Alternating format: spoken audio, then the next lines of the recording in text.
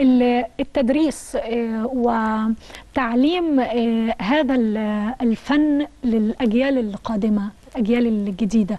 حضرتك آه، يعني بتمارس هذا الدور من من فترة وأعلم إن في مجموعة من ال- الشباب خرج من تحت إيدك مبدعين.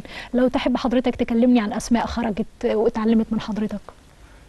لا أسماء كتيره يعني هي يعني الكلام ده من يعني من 20 سنة على مدار 20 سنة يعني في أسماء كتيرة آه، نيلي كريم آه، حنان مطاوع آه، بسمه آه، روبي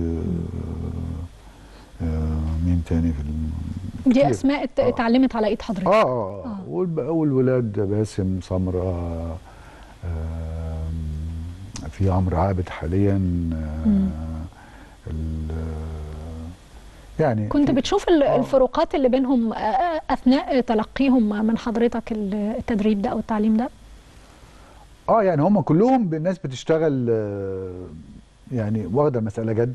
بيشتغلوا بجد آه آه عايزين يت يعني يعني يظهروا بمظهر كويس في في, في أدائهم للشخصيات آه في اجتهاد آه فاهمين إن المسألة مش تهريج إن المسألة الموضوع التمثيل مهنة شاقة. مهنة صعبة. آه لأن مفروض في أقصى يعني في, في ظروف صعبة جدا مطلوب من الممثل يمثل. يعني متخيلة مثلا ممثل آه، مجهد نتيجة التصوير. بقى له 20 سنة بيشتغل 20 ساعة بيشتغل أو فترة طويلة بيشتغل بيصور في في ظرف برد جدا أو حر جدا آه، ولابس لبس مش مناسب لل- للحر أو للبرد. آه، آه، إجهاد مع الطقس مع آه، يعني ممكن يكون بدأ يتعب صحيا عنده مشاكله وعنده حياته وعنده ومطلوب منه حاجات كتيرة يعملها ويركز فيها و... و... فده يعني صعب.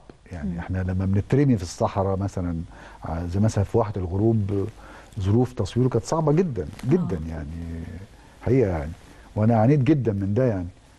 ومطلوب مني إن أمثل وأقول الكلام صح وأقول المشاعر صح وأعمل المشاعر صح وأنفذ تعليمات المخرج ومدير التصوير و و و وأنفذ كل ده يعني فلازم الجهاز العصبي يبقى جهاز مظبوط وعشان كده إحنا بنقول ما نضيعش طاقتنا في الكلام فارغ.